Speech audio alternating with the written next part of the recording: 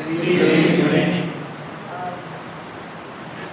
two hours listening to music.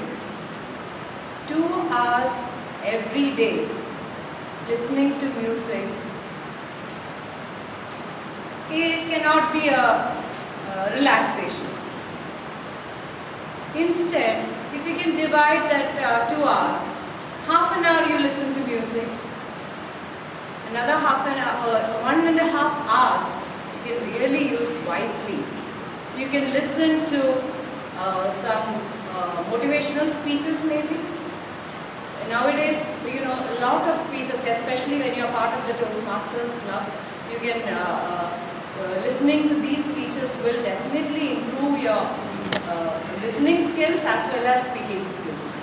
Then another half an hour maybe you can use for uh, listening to some uh, video, uh, sorry, not videos, uh, you are listening, so it is audios, maybe, uh, you know, now with a lot of jokes and uh, you, you are, that's also available.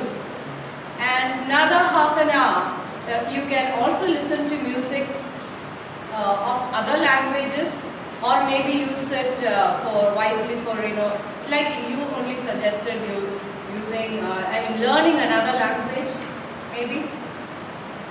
and the, now, the last half an hour, you can definitely use folks, uh, uh, you know, listening to music. It will be a, a, a very wise way of utilizing the time.